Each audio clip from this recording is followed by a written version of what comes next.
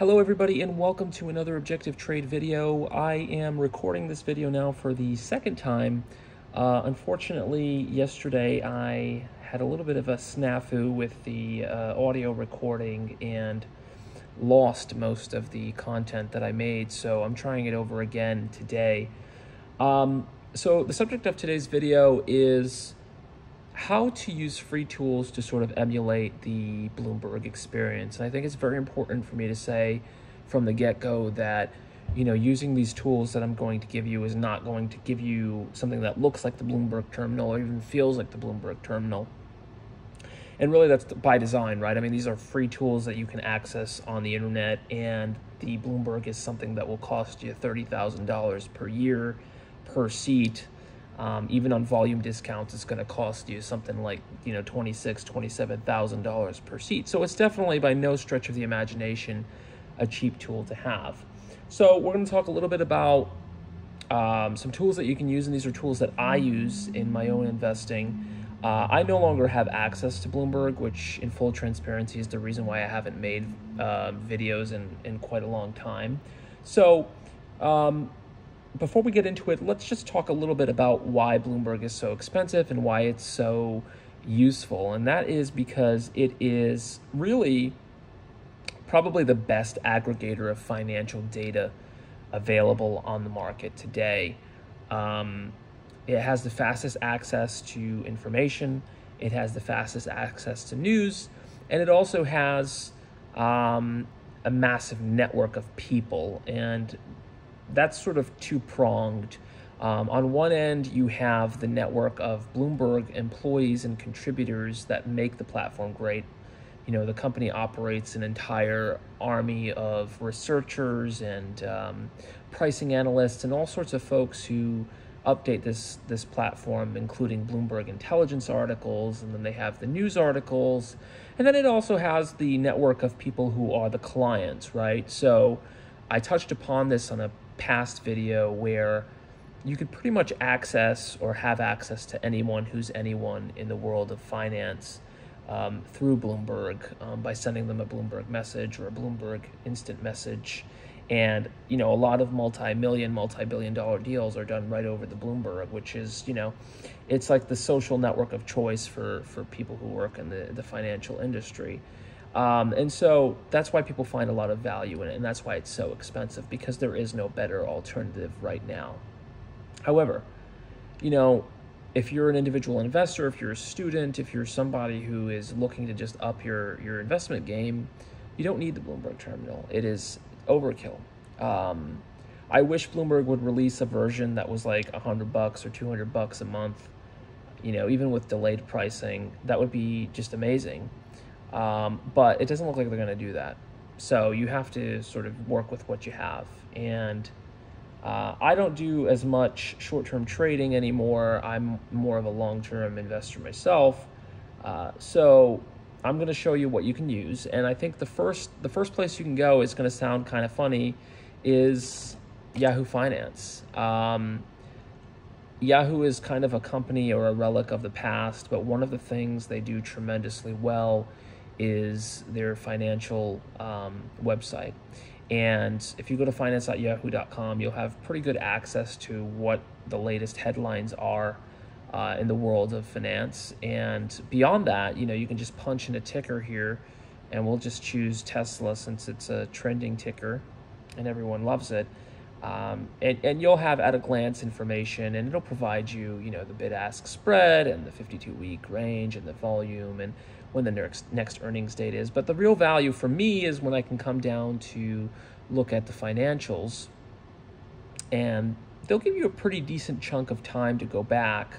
Um, right now, I see that it goes back to about 2020, and then you can upgrade to get more access uh, or access to additional information. But you'll get things like historical data and analysis and all sorts of really great things. And, you know, I know a lot of great investors who base a lot of their decisions on information they find on Yahoo Finance, not not analyst reports. I'm talking about the research that they do themselves. You know, they don't subscribe to, um, you know, Bloomberg or any other platform uh, Eikon, anything like that. You know, they manage multi-million dollar portfolios for themselves and for their families, and they're just, you know, getting their information from Yahoo Finance, believe it or not. So it is a really viable tool, and that's um, something I recommend to you highly.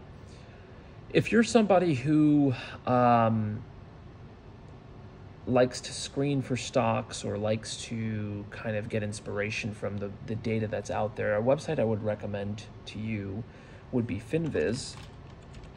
And I used to use this website a lot, and it looks a little bit different today than it used to. Um, it looks a little bit more modernized, but Finviz is such an amazing tool, particularly for um, screening for stocks. So if you are looking or doing research and you find that you want to screen for a particular, I don't know, a company that's on a certain exchange with a certain market cap that is in a certain industry, um, you can basically punch all of that information right up here and it will retrieve a list of securities that match your your search which is really useful, right? If you're sort of in the discovery stage, if you're you're trying to make a move in a particular industry or whatever the case is, um, you'll be able to relatively quickly uh, find a list of stocks that you can then start drilling into and finding information on. So I'll pull up Double A,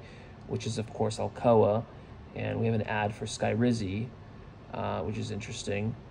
Uh, and then you'll be presented with a uh, chart here, which you can, you know, blow up and you can take a look at. Uh, some of these features will cost you money.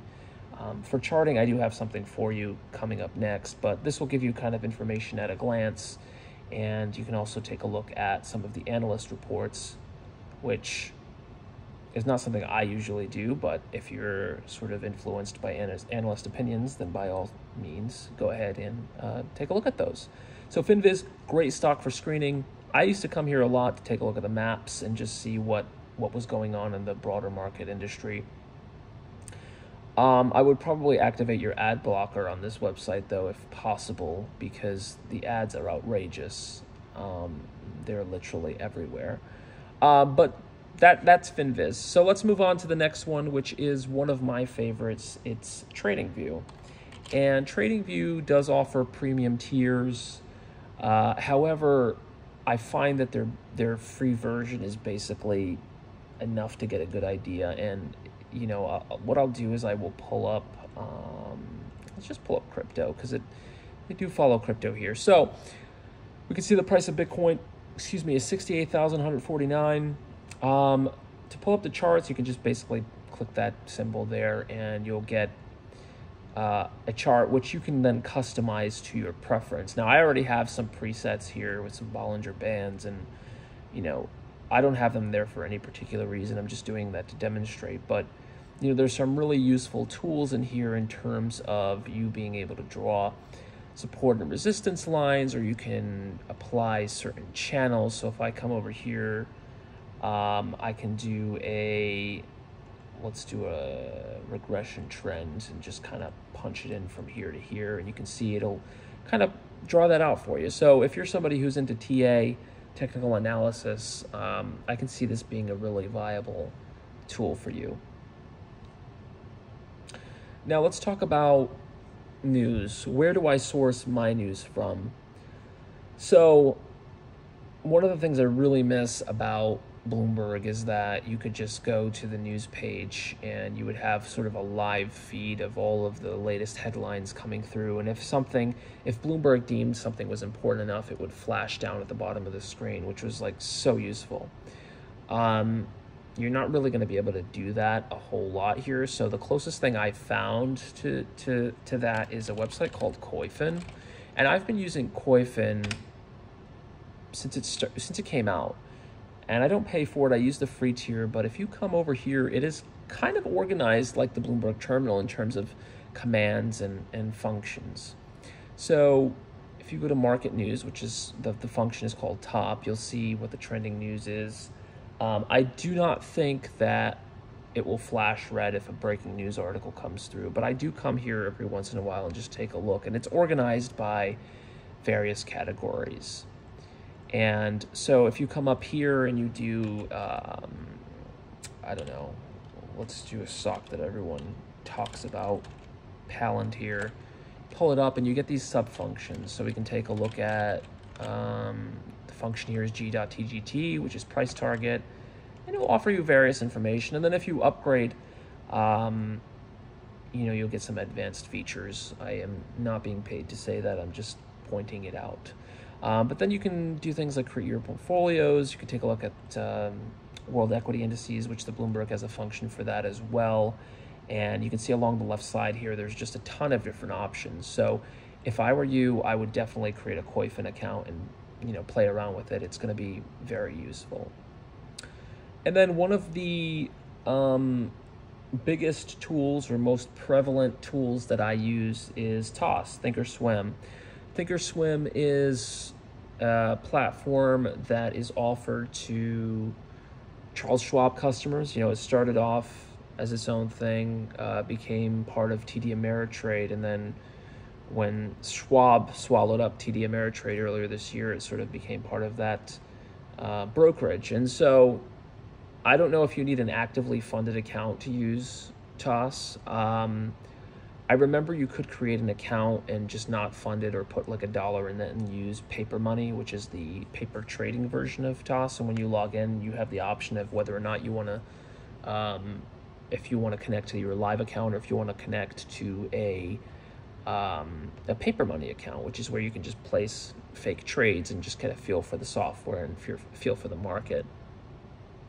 Um, so I love this platform. I think it's probably the closest thing you're going to get to Bloomberg in terms of, of market information. Um, you can get real-time quotes here. You can you can do you know uh, level two bid ask spread the order book You can take a look at news for particular securities, or you can organize news in such a way that um, suits your preference. And, and the charting capabilities of the software are actually um, really terrific. They're highly customizable. And you can see that I kind of just, I keep things quite simple. Um, there's not a whole lot here. And um, just basically taking a look at the, the volume, the RSI, and just some candle charts. So Thinkorswim is definitely highly recommended if you're actually, you know, trading. Um, you can do some a great deal of research on this platform as well. So let's say you've got all your information, you've got your charts, you've got your news, you've got your your screeners, you've got everything. What about actually doing analysis? Um, you know, creating spreadsheets. Do I have any recommendations for that?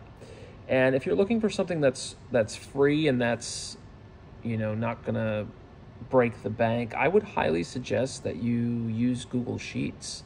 Honestly, uh, and the great thing about Google Sheets, let me just see if I can pull that up here. Basically, like a free version of Microsoft Excel.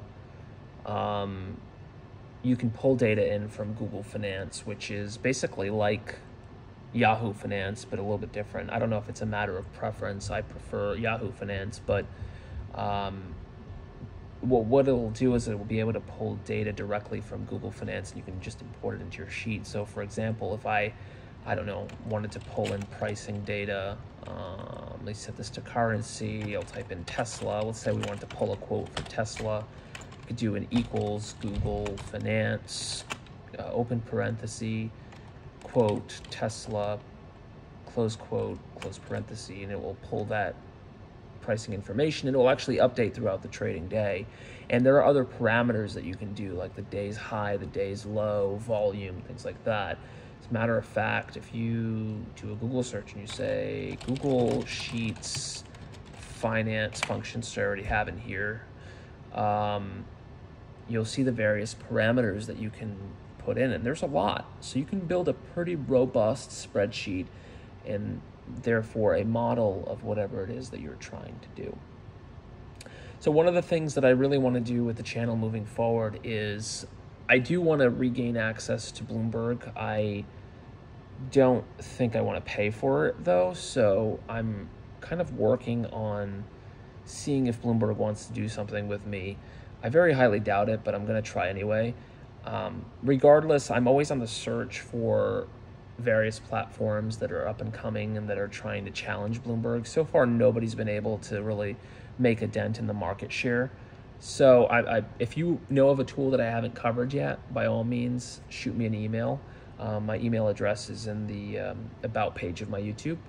And, you know, I also hope to do some more videos moving forward uh, relating to the equity markets and my thoughts on them for what, for whatever they're worth. So stick around for some more content, and I appreciate you joining me today.